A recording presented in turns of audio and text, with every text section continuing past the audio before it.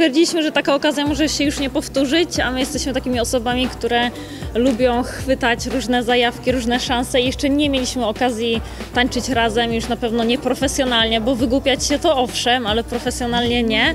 I stwierdziliśmy, a może nauczą nas pierwszego tańca na ślub? to chodźmy, spróbujmy. No Niech tak, będzie jakieś wyzwanie. No właśnie, Mateusz, dla Ciebie też y, to jest wyzwanie? E, ten ślub tak. Ślub to wiadomo, to wiadomo, to w ogóle oczywiste. E, Nie, no to jest dla mnie mega wyzwanie, no ale przede wszystkim no taka szansa, w sumie już chyba jedyna, ostatnia, może nie ostatnia, ale zawsze miałem coś takiego, że chciałem spróbować tego tańca.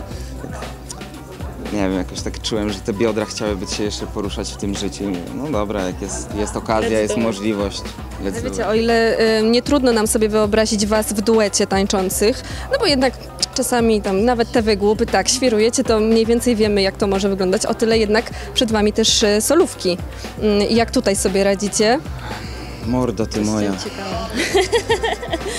To jest ciekawe doświadczenie. Ja nie mogę tutaj nic za dużo mówić. Właśnie nie wiem, No możemy nie, nie, nie możemy. Tak?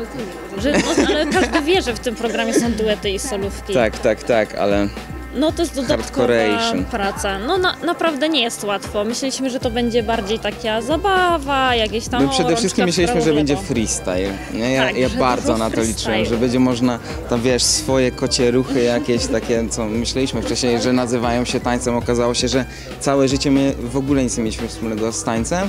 To, co my trenowaliśmy, był to taniec hulaniec. Okazuje się, że tego w ogóle nie ma nigdzie na Wikipedii, nigdzie, nie wiem.